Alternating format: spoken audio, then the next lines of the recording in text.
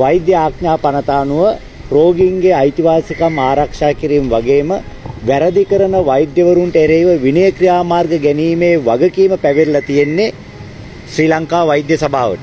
නමුත් අවාසනාවට ශ්‍රී ලංකා වෛද්‍ය සභාව ශාෆි ශාබ්දින් කරන මේ සමූල ඝාතන වෑයම පිළිබඳ නියඬතාවයක් තමයි පෙනෙන්න තියෙන්නේ. ඒ නිසා අද අපි ශ්‍රී ලංකා වෛද්‍ය සභාවට ආවේ දොරට තට්ටු කරලා නිදාගෙන ඉන්නවා නම් ඇහැරවලා Tamanට නීතියෙන් පැවිරලා තියෙන වගකීම ඉටු කරන්න කියන එක සිහිපත් කරලා අපි එතුමල්ලට අද අපේ පැමිණිල්ලක් බාර දුන්නා. අපි ඉල්ලා හිටියා ශාෆි ශාබ්දීන් පිළිබඳ ස්වාධීන වූ අපක්ෂපාතී පරීක්ෂණයක් කරලා ඔහු වැරදිකරු බවට පත් වුණොත් වහාම ඔහු වෛද්‍ය වෘත්තිය තවදුරටත් යෙදෙමින් තවදුරටත් ජාතිය වඳ කිරීමේ ක්‍රියාවලිය ඉදිරියට ගෙන යාම නතර කිරීමට පියවර ගන්න කියලා. මොකද වෛද්‍යවරයෙක් සිය වෘත්තියේ යෙදීම නතර කළ හැකි එකම ආයතනය ශ්‍රී ලංකා වෛද්‍ය සභාව පමණයි.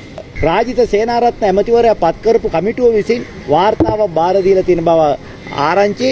නමුත් රටේ ජනතාව නම් කියන්නේ රාජිත සේනාරත්න පත් කරන කමිටුවකින් ශාෆි ශයාබ්දීන් ගැන පරීක්ෂණ කරනවට වඩා ශාෆිගේ අම්මගේ මූලිකත්වයෙන් කමිටුවක් පත් කරලා මේ පිළිබඳ සොයා බලන එක ඊට වඩා විශ්වාසයක් තියන්න පුළුවන් කියලා. ඒ නිසා අපි රායිත සේනාරත්න ඇමතිවරයා කෙතරම් පිළිගත් පුද්ගලයන් යුත් කමිටුවක් පත් කරත් මේ රටේ ජනතාව ඒ කමිටුව විශ්වාස කරන්නේ නැහැ. ඒ කමිටුව ලබා දුන්න වාර්තාව කුණු කූඩේට වීසි කරලා ශ්‍රී ලංකා වෛද්‍ය සභාව විසින් අපක්ෂපාතී පරීක්ෂණයක් කළ යුතුයි කියන ස්ථාවරේ අපි ඉන්නේ. ඊයේ අපි දැක්ක ලස්සන නාට්‍යයක්. මුස්ලිම් ඇමතිවරු සියලු දෙනාම ඊයේ ඉල්ලාසියම් දුන කැබිනට් ඇමතිවරු හතර දෙනෙක් රාජ්‍ය ඇමතිවරුන් හතර දෙනෙක් සහ නියෝජ්‍ය ඇමතිවරයෙක් ඇතුළු අමාත්‍යවරුන් නව දෙනෙක් ඊයේ ඉල්ලාස් වුණා.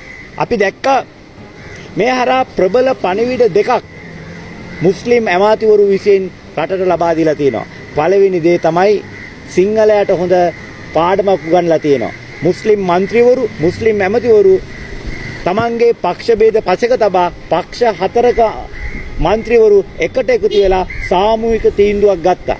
ඔවුන් පෙන්නවා පක්ෂයට වඩා අපිට ජාතිය ආගම ලොකුයි කියන එක.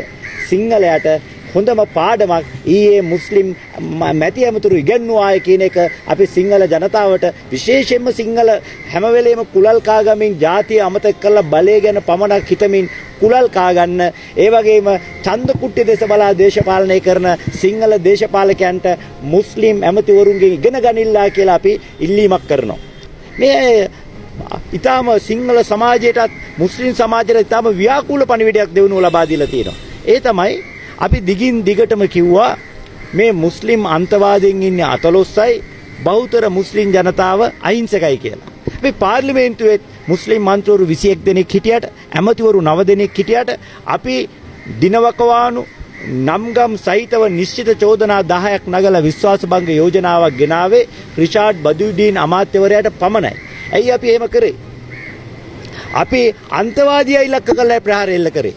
අපි කබීර් රසීම් ඇමතුමාට එරෙහිව චෝදනා එල්ල කරේ නැහැ.